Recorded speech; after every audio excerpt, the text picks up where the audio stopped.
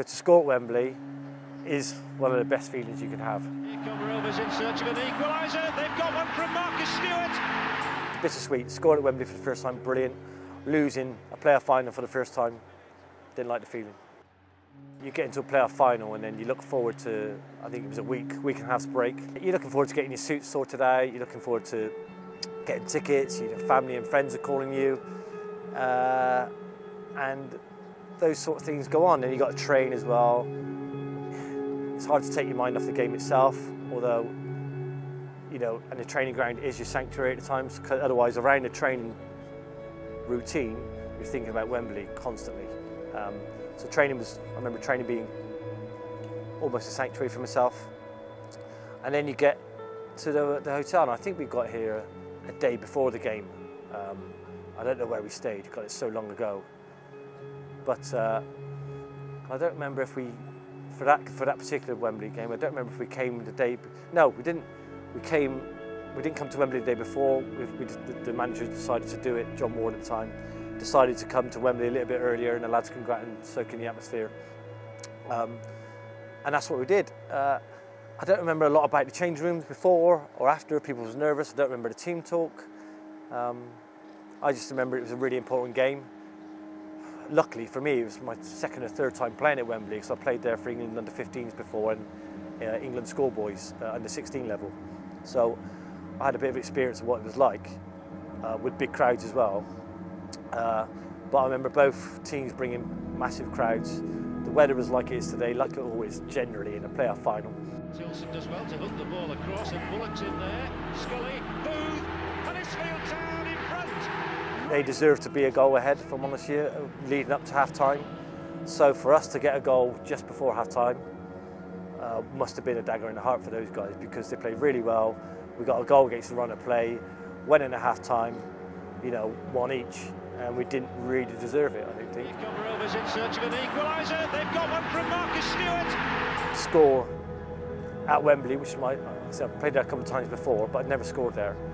So to score at Wembley, where England played, where England won the World Cup, very patriotic, is one of the best feelings you can have.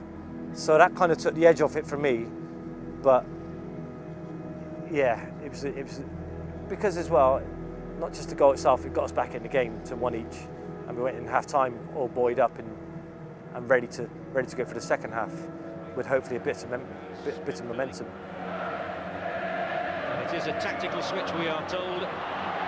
Nick on the touchline here straight away in possession is done. And he floats one across here, Booth's in, Jepson's there, Billy's in. Bittersweet, scored at Wembley for the first time, brilliant.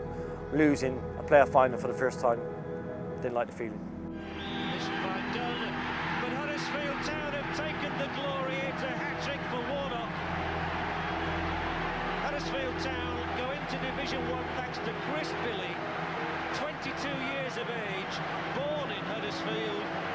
Thanks to Steve Francis as well for some great stops near the end. So with that happened, that game happened, Huddersfield went to the Championship, obviously we stayed into League One. Uh, I had a season back at Bristol Rovers, I had a really good season and uh, towards the end of the year, end of the season as well, I had a, a phone call from my old assistant manager who left the previous season from Bristol Rovers to go and be assistant manager at Huddersfield with uh, Brian Horton. And he just called me and said, Marcus, how do you fancy coming to Huddersfield? You know, trying to build something here. New stadium just been built, which was called the McAlpine at the time. How do you fancy coming? So after I think about it and chat with people, and I, I, I wanted to go, yeah, and it felt the right thing to do at the time. And like you said before, I think you know the game the year before kind of, kind of put me on the map for Huddersfield fans, if you, if you like. So we didn't win the game, but I had quite a pretty good second half. I wouldn't say I was brilliant first half, even though I got the goal. Uh, I had a really good second half, because we should have won it. So I think the fact that I was in the press and those fans see me play the year before kind of gave me a little bit of a head start because they, they knew what I was all about.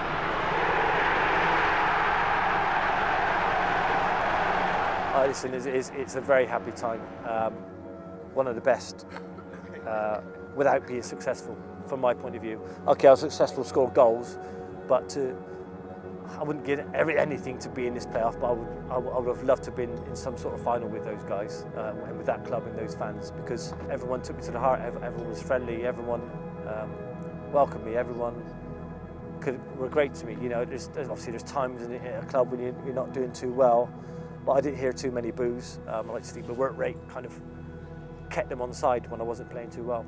Um, so yeah, I, my sons still live up there to this day. Huddersfield, play, one played for Huddersfield Rugby Union, the other one played for Huddersfield Giants Rugby League. So um, I'm still up there quite often.